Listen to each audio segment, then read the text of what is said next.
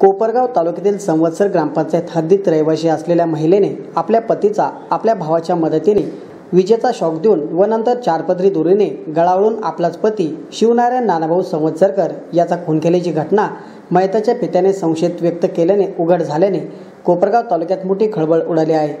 याबाबत आरोपी पत्नी जयश्री शिवनारायण संवत्सरकर व तिचा हर्सुल कारागृहातील भाऊ किरण कैलास ढोणे यांना कोपरगाव शहर पोलिसांनी बेड्या ठोकल्या असून आज कोपरगाव शहर पोलिसांनी आरोपी पत्नी जयश्री संवत्सरकर व तिचा भाऊ किरण ढोणे यांना कोपरगाव प्रथम वर्ग न्यायदंडाधिकारी डोईफोडे यांच्या समोर हजर केले असता त्यांनी दोन्ही बाजू ऐकून घेऊन आरोपींना पाच दिवसांची पोलीस कोठडी सुनावली आहे.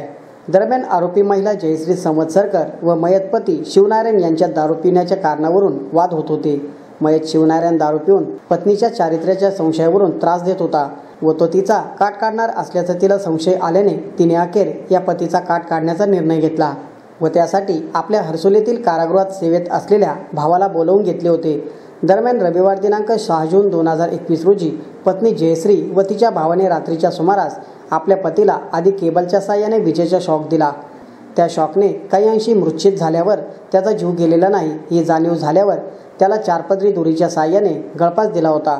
व कोपरगाव शहर पोलिसांची दिशाभूल करण्यासाठी दारूच्या नशेत मेहताने विजेचा शॉक घेऊन आत्महत्या केल्याचा बनाव केला होता. या प्रकरणी कोपरगाव शहर पोलिसांनी आपल्या दप्तरी त्यांच्या खबरीवरून अकस्मात मृत्यूची नोंद दाखल केली होती. मात्र पोलीस तपासात व मेहताच्या वडिलांनी दिलेल्या जबाबात विसंगती आढळून आली होती. त्यावरून तपासी अधिकाऱ्यांनी तपास केला असता ही खुनाची बाब उघड झाली होती. त्यावरून पोलिसांनी आरोपींना बेड्या ठोकल्या होत्या.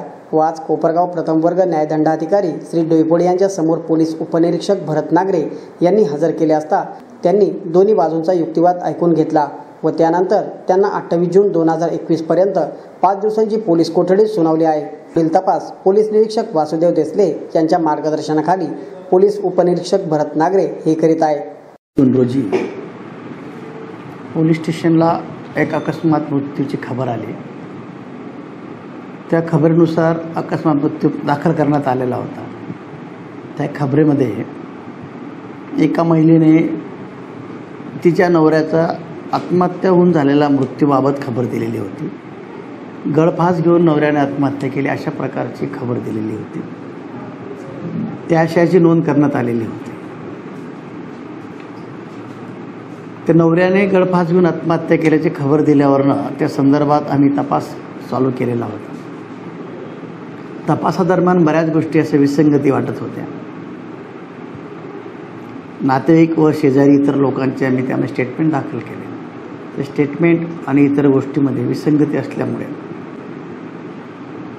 त्या तक्रारीमध्ये काहीतरी वेगळं असल्याचे बाब आमच्या निदर्शनास आले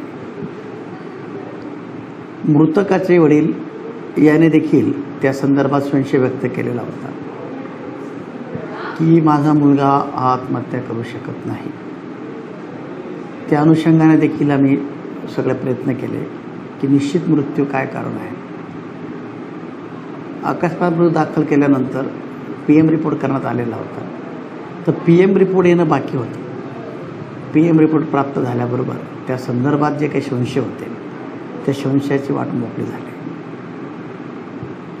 पी एम रिपोर्टवरने बाब निष्पन्न झाली की गळा आवडून त्याचा खून झालेला आहे. आणि इतर जे साक्षीदारांचे साक्षी दिलेले आहेत स्टेटमेंट आहेत त्या स्टेटमेंट असलेली विसंगती वैद्यकीय रिपोर्ट या सर्व गोष्टींचा अभ्यास केला असता नमूद महिलेने जी फिर्याद दिलेली आहे ती चुकीची निष्पन्न झालेली आहे.